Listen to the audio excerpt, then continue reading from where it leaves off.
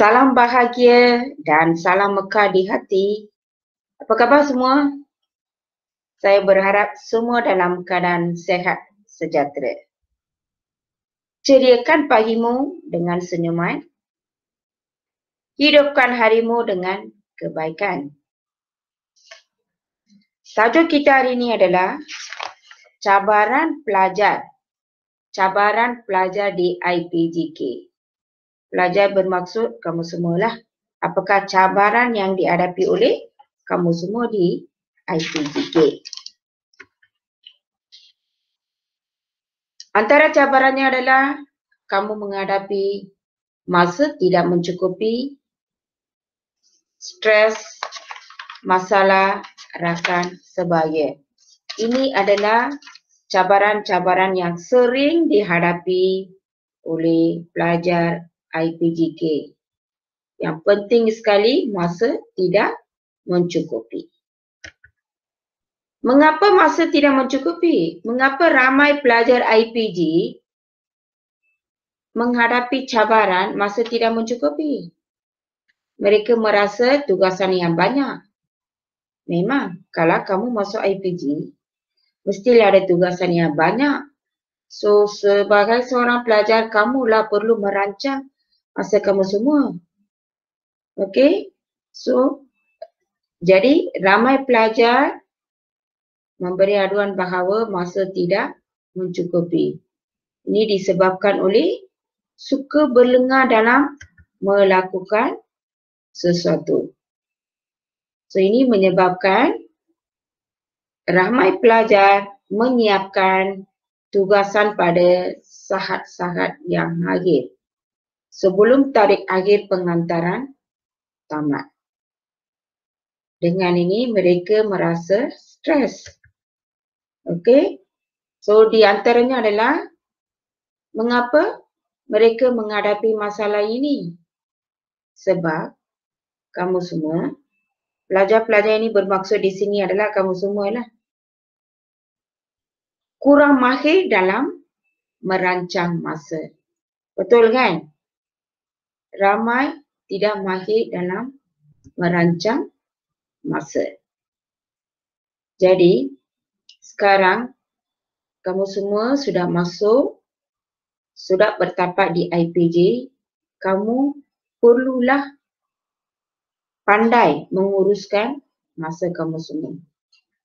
Kalau seseorang tidak menguruskan masa dengan cepat, apa akan berlaku? Sekiranya seorang pelajar membuat kerja last minute, apa akan berlaku? Apa kesan akan berlaku? Mari kita tonton sebuah video yang akan ditayangkan selepas ini.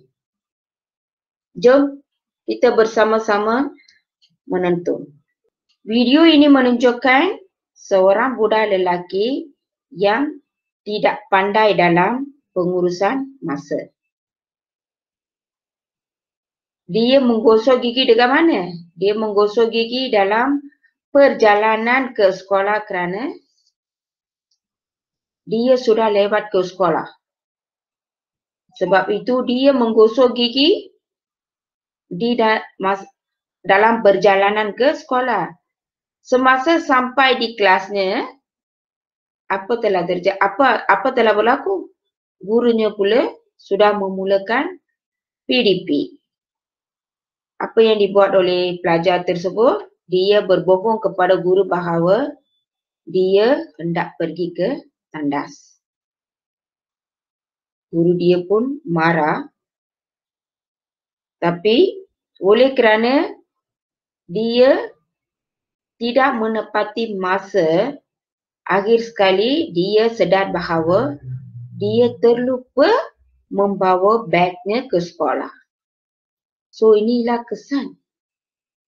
Jadi, mesej yang disampaikan melalui video ini adalah sebagai seorang pelajar, sama ada pelajar di sekolah rendah, sekolah menengah, IPG atau universiti, jangan membuat kerja last minute jangan membuat kerja last minute. Kamu perlulah menguruskan masa dengan sebaik-baiknya. Jangan bercakap bohong. Perlulah mengamalkan nilai berani mengakui kebenaran atau berani mengakui kesalahan. Jadi kalau tidak menguruskan masa dengan baik, inilah akibatnya.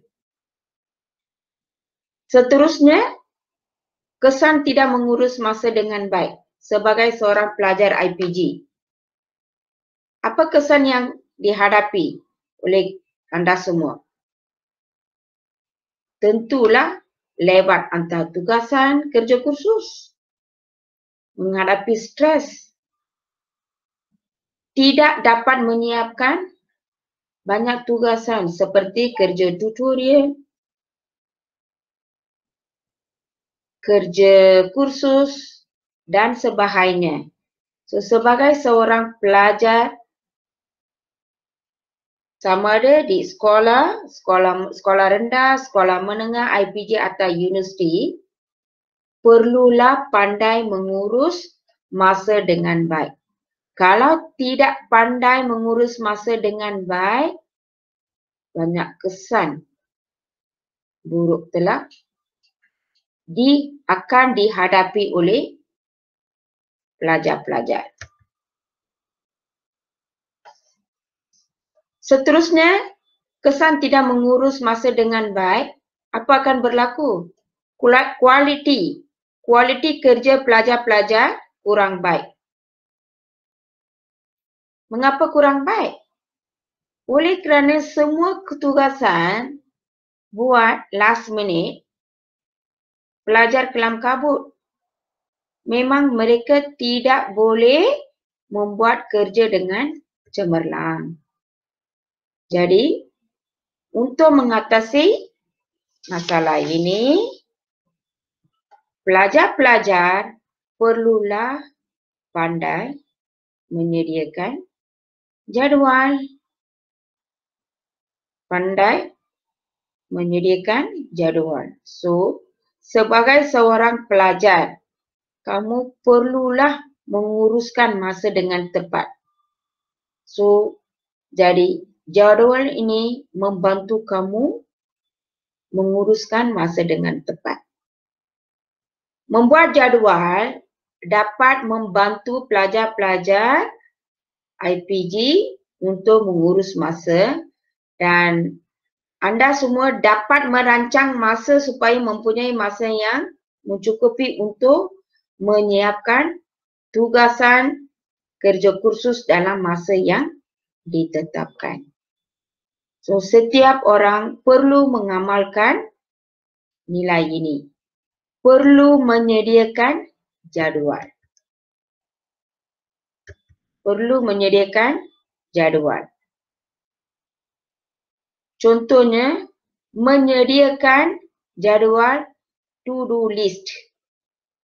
Menyediakan to-do list pelajar dapat mengingatkan diri tentang tugasan yang perlu disiapkan dan anda juga tidak akan membazir masa kerana dapat mengetahui bahawa terdapat tugasan yang belum disiapkan.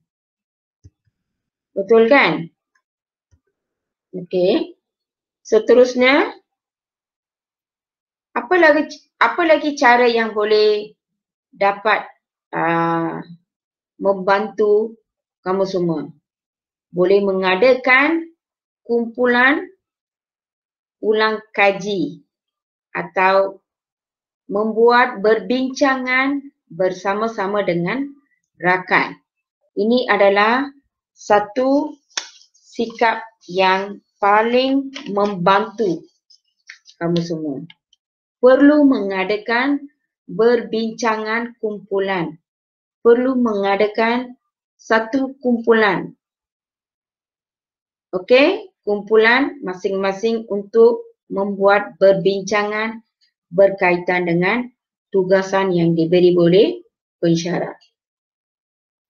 yang mengadakan kumpulan ulang kaji atau uh, berbincangan bersama-sama rakan ini memang akan memberi motivasi antara satu sama lain untuk menyiapkan tugasan kamu semua. Betul kan? Kalau kamu tak faham, memang kawan boleh tolong.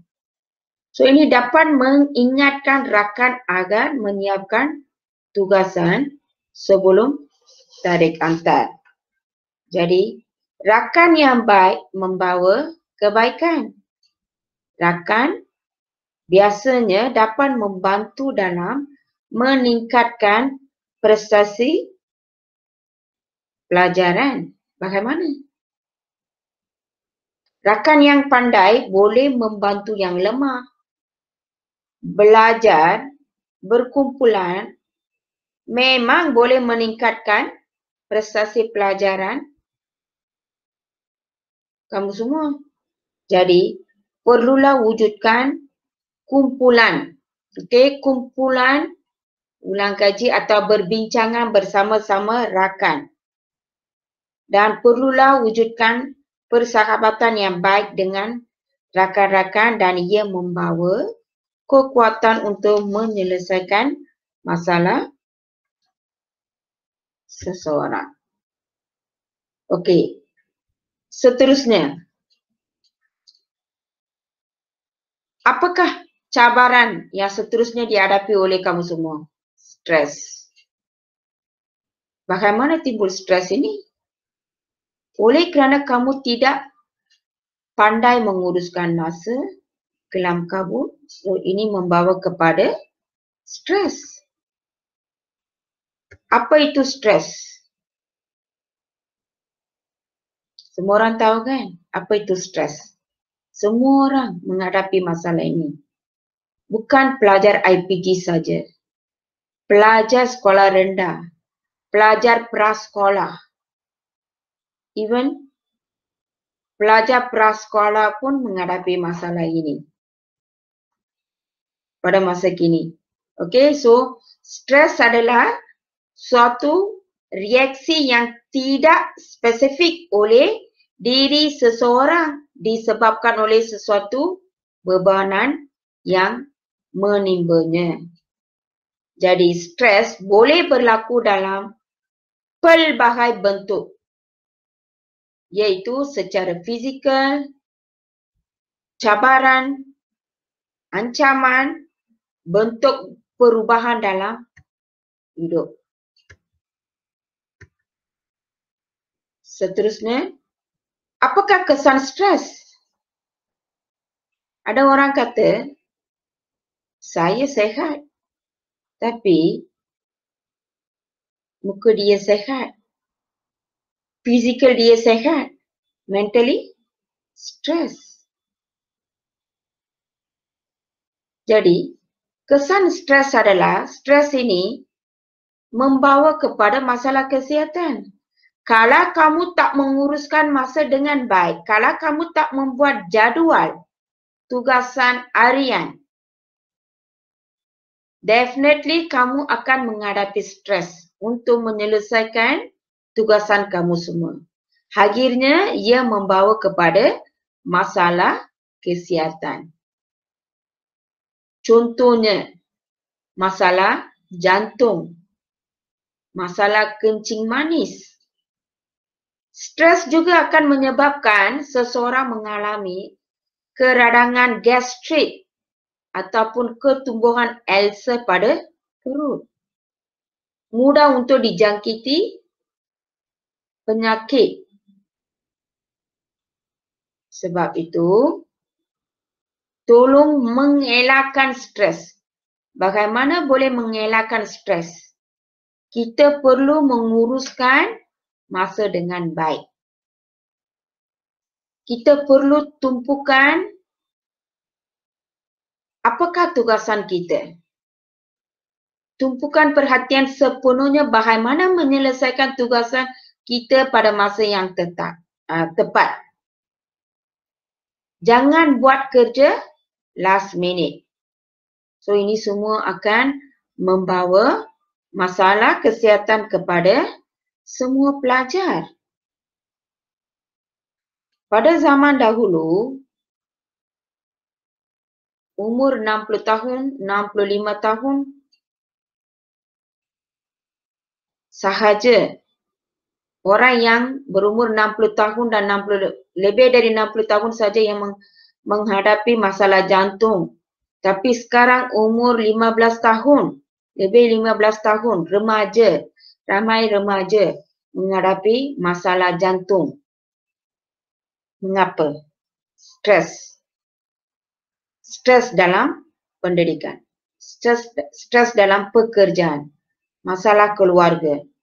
So untuk mengelakkan stres ini, kita perlulah menguruskan masa kita dengan baik.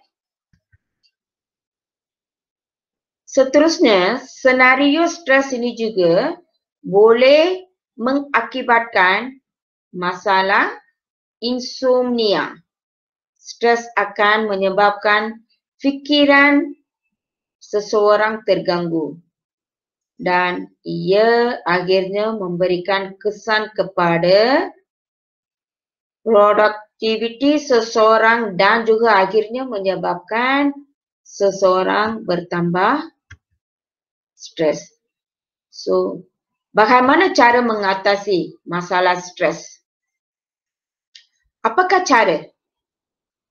Yang pertama, saya sudah terangkan, kamu perlu menguruskan masa dengan baik.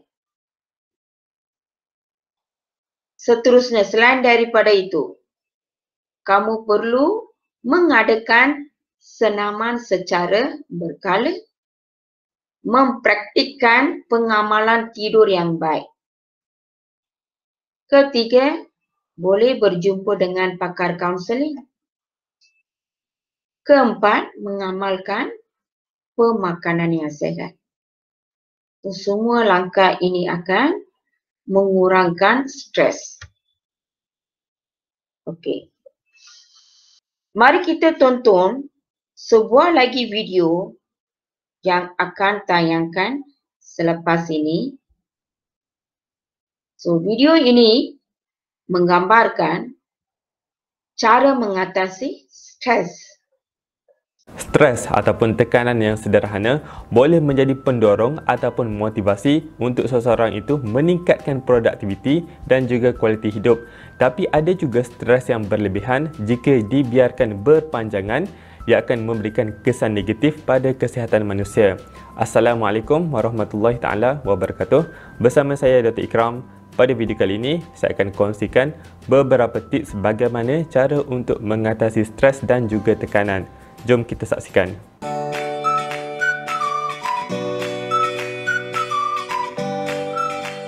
Banyak sebenarnya cara yang boleh dilakukan untuk mengurangkan stres dan tips yang akan saya kongsikan ini saya ambil daripada portal myhealth.gov.my dan juga melalui website healthline.com.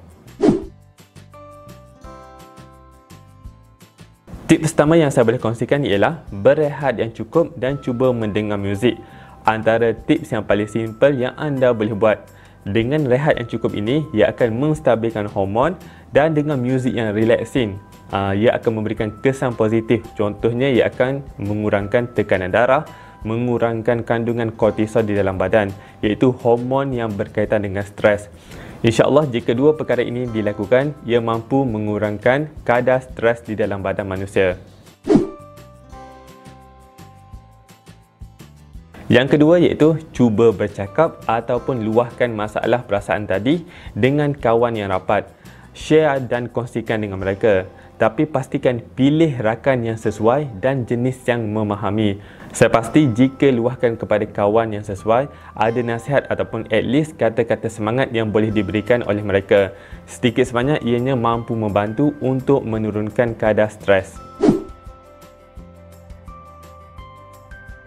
Tips ketiga, ia berkaitan dengan tips sebelum ini iaitu beri kata-kata semangat kepada diri sendiri. Yang kes ini sekiranya anda tak mampu luahkan kepada kawan ataupun tak pasti kawan mana yang sesuai untuk meluahkan perasaan anda. Cuba berikan motivasi dan juga kata-kata semangat kepada diri sendiri. Cuba lakukan ini secara berterusan dan insya-Allah ia sedikit sebanyak akan membantu. Tips keempat iaitu makan secara betul. Sebenarnya bila stres ini, hormon stres dan pemakanan selalunya ia akan berkaitan. Time stres ini, individu akan makan secara berlebihan ataupun makan secara berkurangan. Boleh dikatakan uh, pattern makan untuk orang yang stres akan luar daripada biasa. Tapi yang seeloknya, semasa stres, anda perlu jaga makanan. Cuba pilih makanan yang kita gelarkan sebagai brain food. Uh, salah satunya sebagai contoh iaitu iaitu makanan yang kaya dengan omega 3. Brain food ini mampu mengurangkan stres di dalam badan. Ketawa. Ketawa juga salah satu tips yang boleh digunakan. Metod ketawa ini sebenarnya ia akan mengeluarkan hormon yang kita panggil sebagai endorfin. Endorfin ini akan mengimprovekan mood, akan memperbaiki mood dan ia akan mengurangkan hormon stres. Contohnya seperti ia akan kurang uh, ia akan kurangkan kortisol dan juga adrenalin. Dia akan suppress dan dia akan bagi signal kepada otak kita ini yang kita ini dalam keadaan gembira sebenarnya.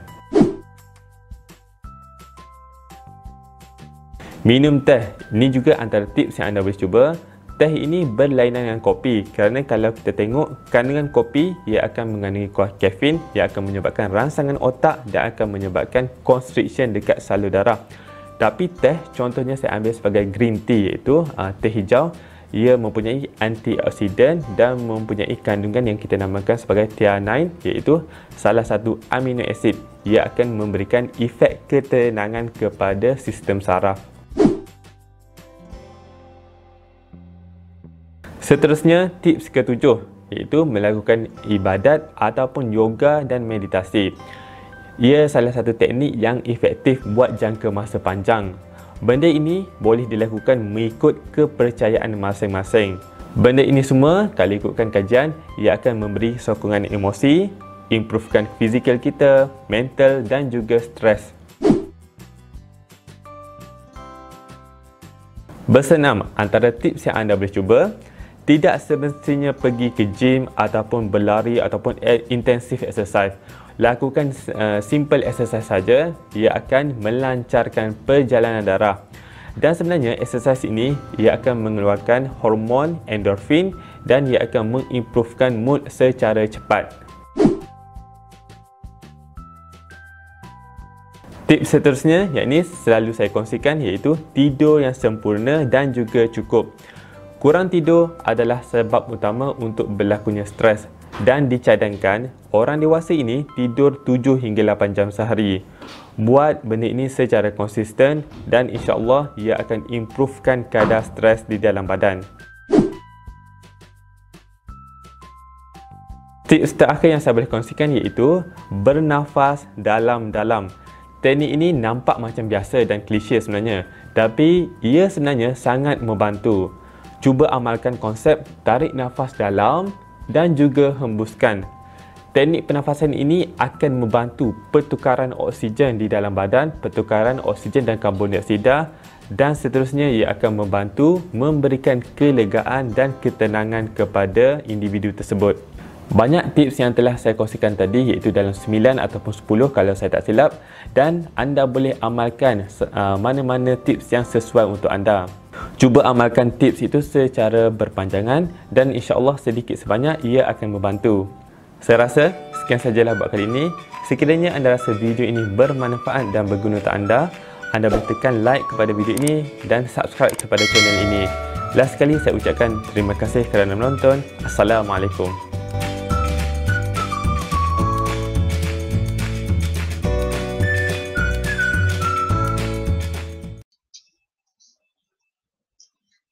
Video ini membincangkan tentang tips cara untuk mengatasi stres oleh Dr. Ikram Rauhi. Menurut beliau, apa yang beliau memberi cadangan? Beliau terdapat beberapa tips untuk mengatasi stres. Tips pertama, adalah rehat. Kamu perlu rehat. Perlu rehat dan mendengar muzik. Kalau kamu rasa stres, kamu perlu rehat dulu. Lepas tu mendengar muzik. Kerana ini dapat menstabilkan hormon dan mengurangkan tekanan darah. Kedua adalah perlu meluahkan perasaan. Bagaimana? Bagaimana?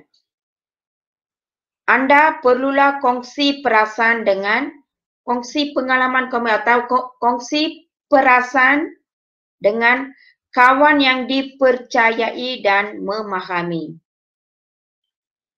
Kawan itu adalah per, mestilah kawan yang baik. Okey, kamu jangan kongsi perasaan kamu dengan semua orang. So ini membawa kepada keburukan kepada semua. Ketiga adalah memberi motivasi dan semangat kepada diri sendiri. So lakukan tips ini secara berterusan. Keempat adalah kamu perlulah pemakanan yang betul. Pattern pemakanan seseorang akan mesti akan bertukar apabila stres. Kelima adalah kamu perlulah ketawa. Jangan muram aja, jangan marah aja. Ketawa. Ketawa itu penting dalam kehidupan kita. Ketawa ini akan mengeluarkan endorfin yang boleh mengurangkan stres. So bila you anda rasa stres, better kamu ketawa. Ketawa aja. Janganlah ketawa di depan orang. Nanti mereka ingat, eh apa ni? Tiba-tiba orang ini ketawa. Mereka ingat nanti gila. Ketawa dalam bilik kamu. Masuk dalam bilik. Ketawa. Okay? So ketawa akan mengeluarkan endorfin yang boleh mengurangkan stres. Keenam adalah minum teh. Especially teh hijau lah. Jangan minum Nescafe. Itu adalah kafein.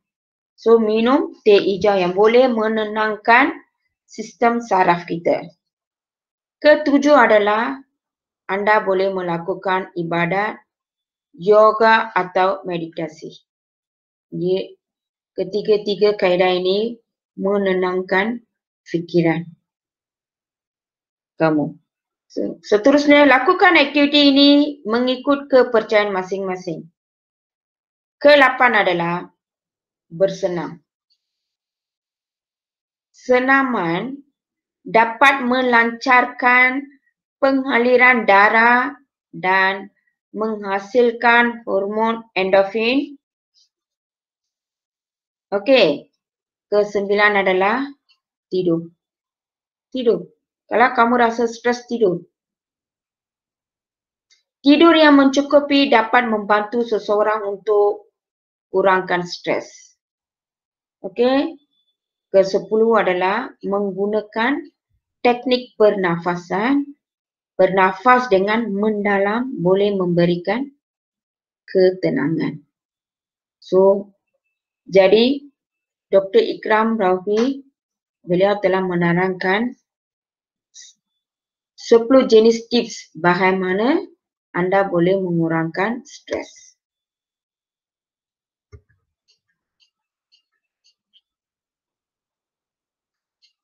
Ketiga, masalah apakah cabaran yang dihadapi oleh pelajar IPG sama ada IPG industri atau sekolah.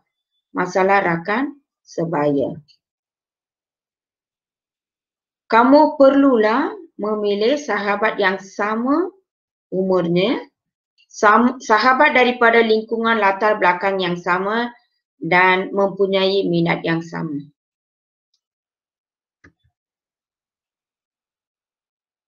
Ada yang pelajar menghadapi banyak masalah rakan sebaya.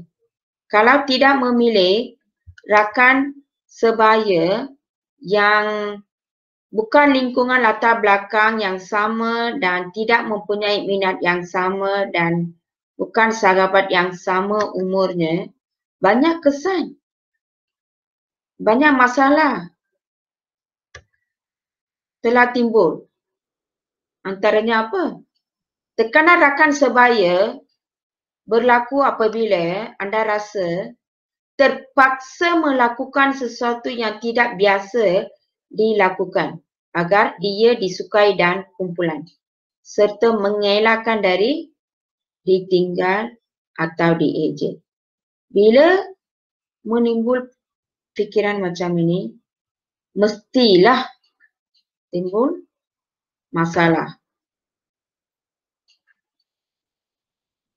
Jadi contoh tekanan rakan sebaya yang negatif termasuklah merokok semasa lepak, menyertai buli atau cabaran berbahaya serta ponting kelas atau sekolah. So ini adalah contoh-contohnya.